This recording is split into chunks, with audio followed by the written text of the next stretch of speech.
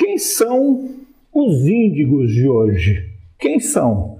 Eles são reencarnações de grandes mestres da humanidade que já passaram aqui pela Terra e estão reencarnando novamente. E não só aqueles mestres que a gente conhece, né? Carl Jung, Emmanuel, Vivaldi e tantos outros. Aqueles mestres também que nós não tivemos conhecimento, mas que fizeram a diferença nas suas comunidades, nas suas regiões. E esses grandes mestres, esses espíritos aqui da Terra mesmo, estão reencarnando nessa missão de ajudar o progresso da humanidade. Ajudar nessa passagem é, de um planeta de provas e expiações para um planeta de regeneração. Agora, assim, quando que eles vieram? Quando vieram esses ídigos para cá? Divaldo nos fala que eles vieram em todos os tempos. Sempre vieram para cá. Sempre reencarnaram. De tempos em tempos, esses espíritos reencarnam para trazer algum tipo de mensagem. Só que hoje em dia, de uns tempos para cá, isso tem acontecido mais constantemente, com muita frequência. A primeira grande leva de espíritos que reencarnaram aqui com, é, com essa missão de índigo foi em 1950, logo após a Segunda Guerra Mundial.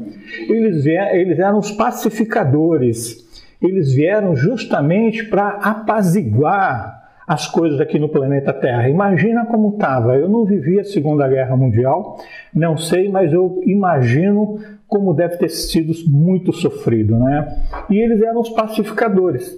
E diz-nos Divaldo e outros, é, outras pessoas também que eles falharam na sua missão. Eles vieram para trazer paz e amor. E aí, nessa paz e amor, nasceram por volta dos anos 50 e lá pelos idos dos anos 70 viraram os hippies.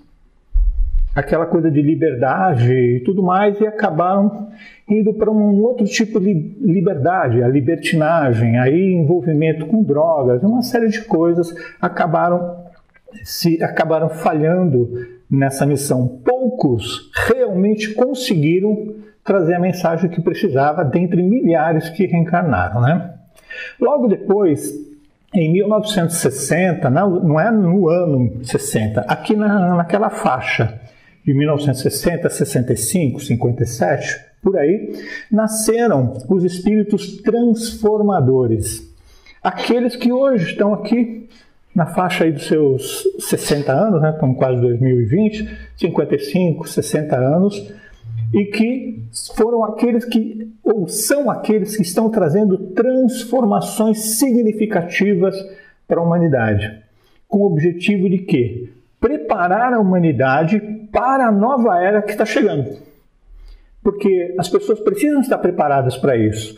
Então, Alguns espíritos estão encarnados neste momento, fazendo isso, auxiliando na transição planetária aqui da Terra. E aí, na, por volta dos anos 80, 80, 85, por ali, nasceu mais uma grande leva de espíritos que foram chamados de desbravadores.